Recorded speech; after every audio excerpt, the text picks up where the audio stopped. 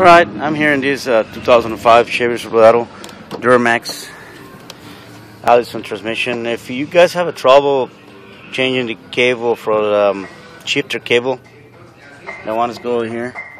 Oh, oh, let me turn on the light. This one all the way up, all the way to here. Uh, just you have to disconnect the the lock over there. Just push these two locks over here and then push it back. Um, and then go from here all the way to the back to the transmission on there, all the way to there. Let me explain to you something. Uh, um, get this part number from AutoZone. I get this one. Um, this one uh, CA1219 part number. This is the part number. And um, I have a, a hard time to put it on.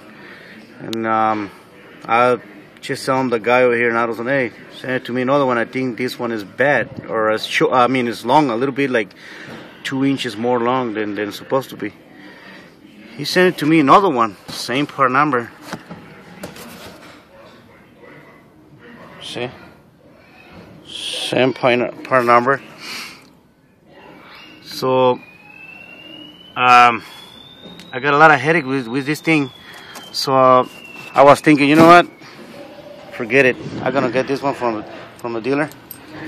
If you guys have a problem, put it on one of those. Uh, where's the part number right here? It's uh, right there. AC Delco. Oh, oh, oh. Sorry, guys.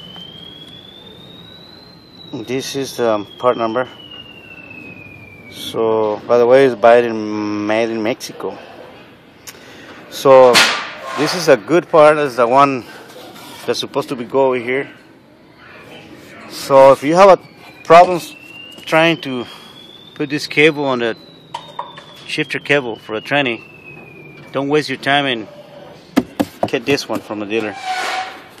Um, I was waiting like two three days for this one and other two three days for this one so almost a week over here with this truck.